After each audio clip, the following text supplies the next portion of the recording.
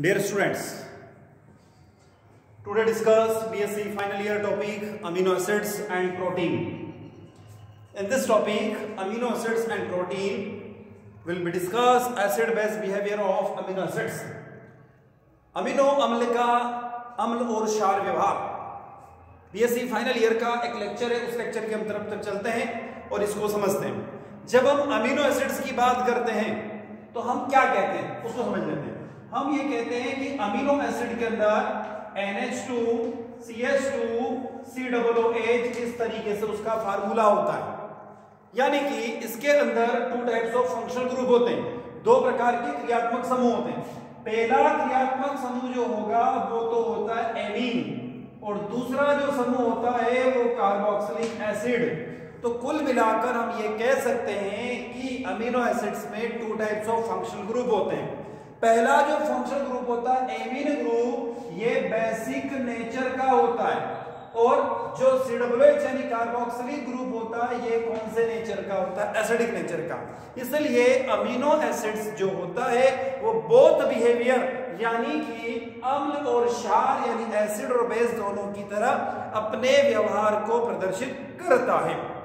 Clear है? अब जब ये अपने नेचर को शो कर रहा है तो ये किस तरीके से अपने नेचर को डेवलप कर सकता है या शो कर सकता है? उसकी तरफ़ चलते हम लोग। हम देखते हैं हमने कहा कि जैसे मेरे पास में यहाँ पर एक कोई कंपाउंड ले लिया। क्लियर है? जैसे हमने एक कंपाउंड ले लिया।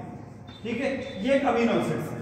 क्योंकि इसमें एक सीडब्ल्यूएच ग्रुप भी है और NH2 ग्रुप भी है। तो ये कौन सा अमीनो एसिड्स है? अल्फ़ा अमीनो एसिड्स है अब इस अमीनो एसिड्स को यदि हम समझें और देखें तो इसके अंदर क्या हो सकता है? तो देखो, यदि इसका हम हाइड्रोलिसिस करें, यानी कि जल अपघटन करें तो हम लोग जानते हैं कि कार्बोक्सिलिक एसिड में एक जो होता है, वो डोनेटिंग नेचर का होता है। हाइड्रोजन यहाँ से इजीली डोनेट हो जाता है। और नाइट्रोजन के पास क्या होता है? लोन पेयर तो हाइड्रोजन डोनेट होगा और हाइड्रोजन एक्सेप्ट कौन कर लेगा? वाटर मॉलिक्यूल का ऑक्सीजन तो ऐसी कंडीशन में यहाँ पर यदि हम लोग देखें तो क्या बन रहा है? तो COO नेगेटिव आयन का फॉर्मेशन हो जाता है। और वाटर मॉलिक्यूल जो है, वो H3O पॉजिटिव के फॉर्म में बाहर निकल जाता है।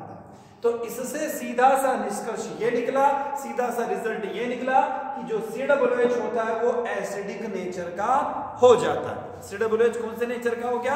अपना एसिडिक बिहेवियर को शो करने लग जाता है। अब आगे एक और और कंडीशन की बात करने जा रहा हूँ मैं। क्या कंडीशन की बात कर रहा हूँ? देखो, मैं ये कह रहा हूँ कि मैंने एक वापस इसको ले लिया, ठीक है? ये NH2 ले लिया। क्लियर है? अब NH2 ले लिया और फिर मैंने वाटर मॉलिक्यूल से रिएक्शन करवा दी। किससे रिएक्शन करवा दी? वाटर मॉलिक्यूल से इसकी रिएक्शन करवा दी। तो देखो, ये हमारे पास अमीनो एसिड से, इसकी रिएक्शन फिर वाटर मॉलिक्यूल से हुई। तो यहाँ पे जो वाटर मॉलिक्यूल है, पहली वाली रिएक्शन में, यहाँ पर water molecule react as a base और दूसरी वाली रिएक्शन में water molecule react as a acid देखो, क्या होगा? हम देख रहे हैं कि यहाँ पर एमिन ग्रुप में नाइट्रोजन के ऊपर लॉन पेयर है। ये हाइड्रोजन निकलकर किसके पास आ गया? NH2 के पास आ गया। तो क्या हो सकता है? आर सी एच यहाँ पर बन जाएगा NH3 पॉजिटिव और यहाँ पर COO नेच और यहाँ पर OH नेगेटिव क्लियर है? तो एक जो अमीनो एसिड से यदि वाटर मॉलिक्यूल से रिएक्शन करता है तो उसमें हाइड्रोजन डोनेट हो जाता है और दूसरे में हाइड्रोजन एक्सेप्ट हो जाता है। पहले में जो हाइड्रोजन डोनेट हुआ, वो कार्बोक्सिलिक ग्रुप के द्वारा हुआ और दूसरे में जो हाइड्रोजन एक्सेप्ट हुआ, वो एमाइड ग्रुप के द्वारा हुआ। इसका मतलब यह है कि यहाँ पर अमीनो एसिड्स अपना एसिडिक और बेसिक दोनों प्रकार का बिहेवियर शो करने लग जाता क्लियर है? कौन सा नेचर शो करता है? तो दोनों प्रकार के अपने बिहेवियर को एक साथ में शो करने लग जाता है। अब देखो कभी कभी क्या होता है? उसके बारे में भी हम बात कर लेते हैं।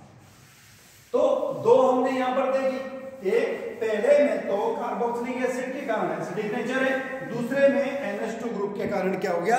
बेसिक नेचर है। अब इसको हम एक तरीके से और समझ सकते हैं। क्या?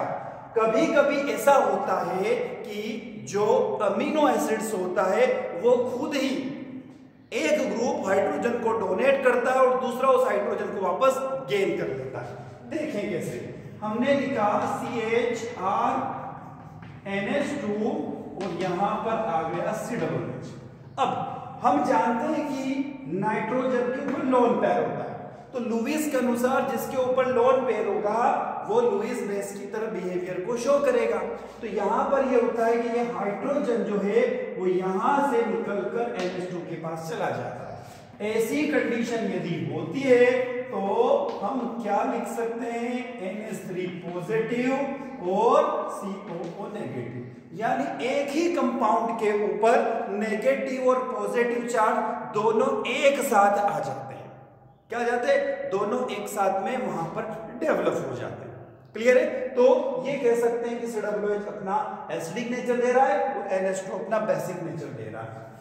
चलो, एक रिएक्शन के द्वारा और मैं आपको इसको समझा सकता हूँ। क्या है? देखो, अब मैं ऐसा बता रहा हूँ कि यदि मैंने इसको ऐसे कुछ लिख लिया ठीक है? अब यहाँ पर सी डबल ओ के ऊपर नेगेटिव चार्ज है। यानी ये कौन सा आयन है? एसिडिक आयन कौन सा आयन है? एसिडिक आयन जो अपने एसिडिक नेचर को शो कर रहा है। अब क्या हुआ? मैं उसकी तरफ़ चल रहा हूँ। तो मैं ये बता रहा हूँ कि सपोज़ यहाँ पर मैंने H पॉजिटिव रिएक्शन करवा दी।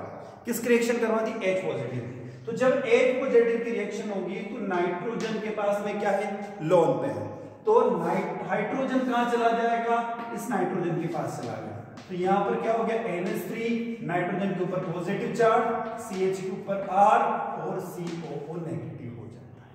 क्लियर अब ये पहली कंडीशन हुई। और आगे चले। यदि मैं इसमें एक और और H पॉजिटिव की रिएक्शन करवा दूँ तो एक यहाँ पे नेगेटिव तो अगला कहाँ चला गया? COO नेगेटिव के पास।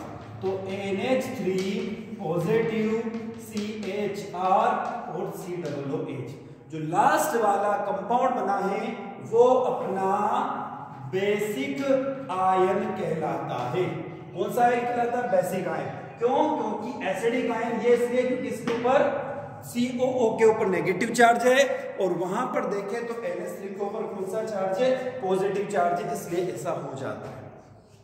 अब ये यहाँ पर हमने रिवर्सिबल का साइन लगा रखा है। मतलब ये रिएक्शन रिवर्सिबल भी होती है। कैसे होती है देखो, यदि मैं इसकी रिएक्शन बेसिक आयन की रिएक्शन OH नेगेटिव के साथ करवा दूँ तो यहाँ से COOH से क्या निकला? H OH के साथ रिएक्शन करेगा तो यहाँ पर आ गया नेगेटिव चार्ज फिर वापस इसकी रिएक्शन किसके साथ करवा दूँ? OH नेगेटिव के साथ करवा तो यहाँ से क्या निकला? हाइड्रोजन निकला। किसके साथ गया? OH नेगेटिव के साथ। क्या बन जाएगा? NH2 बन जाएगा। तो हम ये कह सकते हैं कि जो अमीनो एसिड्स होता है, वो अमीनो एसिड्स अपना एसिडिक और बेसिक दोनों प्रकार का बिहेवियर एक ही कंपाउंड में शो करने लगता है। क्या करने लगता है? एक ही कंपाउंड में शो करने लगता है। इसलिए जब एक ही कंपाउंड में दो प्रकार के चार्ज डेवलप हो जाते हैं तो उसे कौन सा आयन कहते हैं?